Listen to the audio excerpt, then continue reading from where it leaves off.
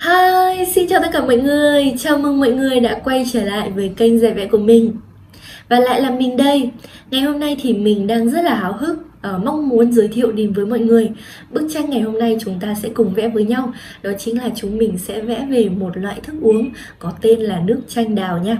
Và đây là một loại thức uống có vị ngọt này uh, vị thanh này và hơi một chút chua nữa. Tuy nhiên thì khi mà hòa quyện lại với nhau thì có một hương vị cực kỳ thơm mát. Và bây giờ thì chúng mình sẽ cùng bắt đầu luôn nha.